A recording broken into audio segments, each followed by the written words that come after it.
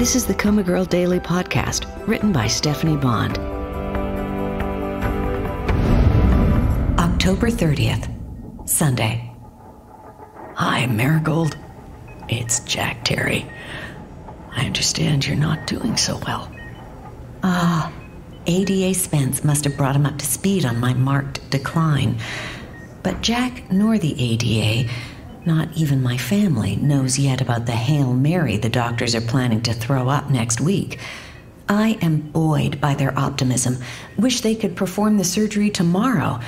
But I understand the need for planning and tests, especially considering the shortcuts they took earlier on my behalf. Hey, I'm planning for you to be around to meet my first child when he or she is born. His voice is cracking, and I realize he thinks I'm a goner. I'm touched this big alpha guy could be moved by my situation. I'm sure he's seen every sad sack predicament under the sun.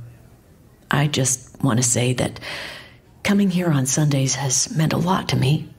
It might sound silly, but it's been nice to get away from work and other situations that were pulling on me and clear my mind enough to make some grown up decisions.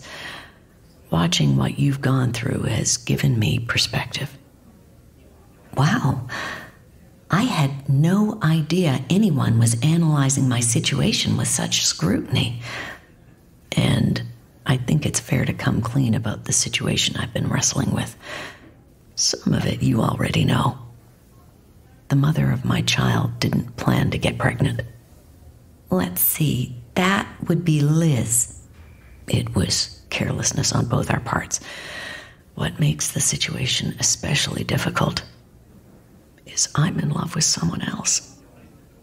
That would be Carlotta. But there are some extra complications that would make it impossible to be with the woman I love while raising the child with its mother. Not that she'd have me anyway. Carlotta again.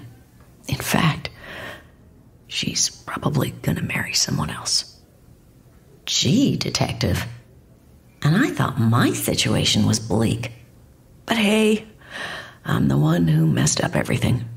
And it'll probably all work out for the best because this girl makes me absolutely crazy.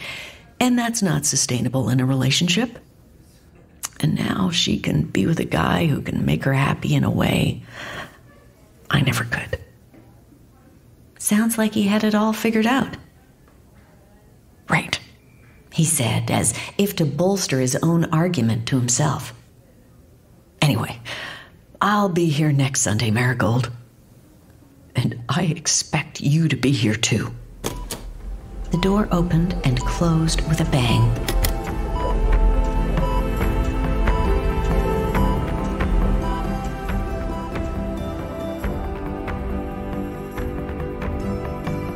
Hi, this is Stephanie Bond, author of the Coma Girl Daily podcast.